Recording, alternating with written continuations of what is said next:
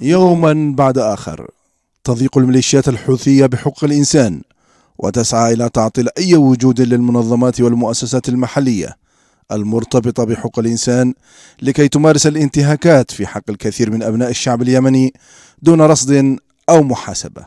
فبعد قيام الميليشيات برفض قبول الممثل المقيم للمفوضية السامية لحقوق الإنسان بصنعاء ومغادرة صنعاء بتوجيهات من قيادة الميليشيات. أوضحت المصادر أن هناك خلافا كبيرا بين المفوضية الأممية وقيادة الميليشيات مرتبطة بالآلية التي تحاول فرضها الميليشيات على المفوضية السامية لحقوق الإنسان.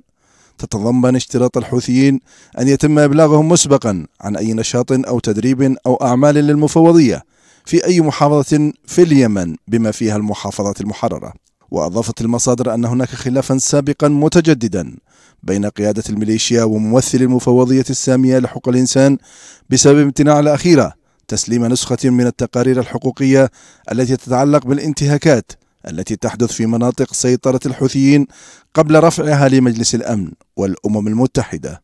والطالب القيادة الحوثية مراجعتها ومعالجتها. ولفتت المصادر أن الميليشيا تسعى لفرض إملاءات على المفوضية تهدف لتحديد مصادر المعلومات من منظمات معنية بحقوق الإنسان أنشأتها الميليشيا لرصد الانتهاكات في اليمن توظف تقاريرها ضد خصومها.